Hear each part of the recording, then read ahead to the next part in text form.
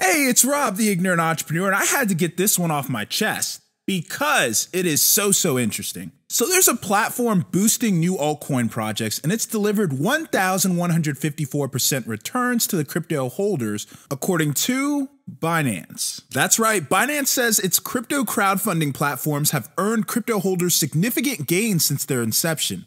The exchange says Binance Launchpad and Binance Launch Pool initially distributed a total of 143 million worth of tokens to crypto holders. All told, those crypto assets are now worth a total of 934 million, marking 553% worth of gains. Since 2019, Binance Launchpad, the crypto exchange's token launch platform, distributed 57.80 million worth of crypto assets for 23 projects, which are now worth 725.20 million, representing 1,154% returns. Looking at Binance Launch Pool, the crypto exchange's staking protocol, which was introduced in September 2020, the platform distributed 85.30 million worth of crypto assets across 17 projects.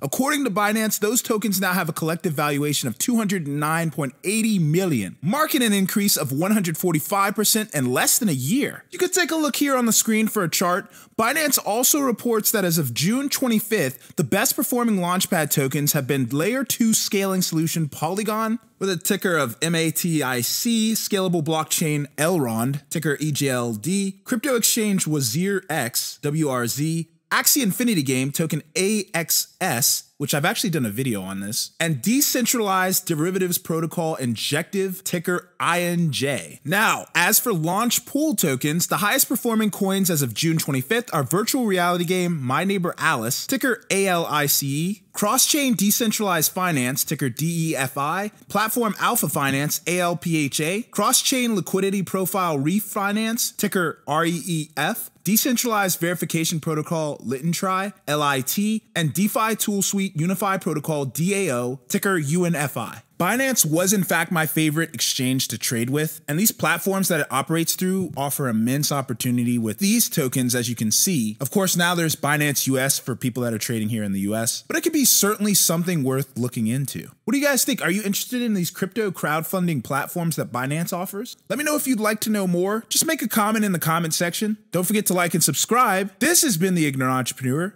I'm out.